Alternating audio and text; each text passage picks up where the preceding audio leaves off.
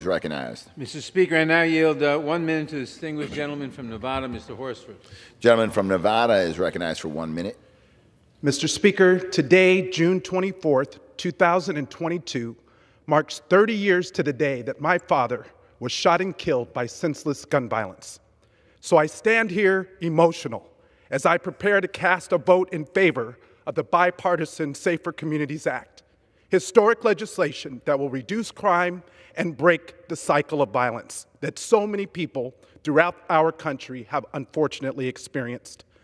One of the most important provisions in this bill is $2 billion in funding for anti-violence programs, including 250 million for community violence intervention from my Break the Cycle of Violence legislation. Every day, 110 Americans are killed with guns, and over 200 are shot and wounded. Amid the global pandemic, homicides by gun increased 35%. Today, gun violence remains the leading cause of premature death for black men, as well as the number two cause of premature death for Latino men and black women. Gentleman's time's expired. Gentleman from New York. Mr. Mr. Speaker, I grant uh, the gentleman an additional 30 seconds. Gentleman's recognized for 30 seconds. Thank you.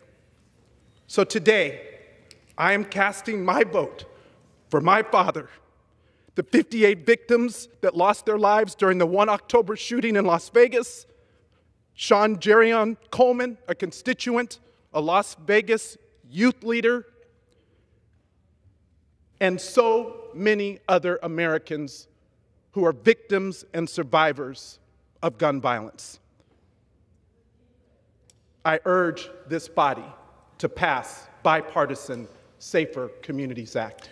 I yield back. Gentleman yields back.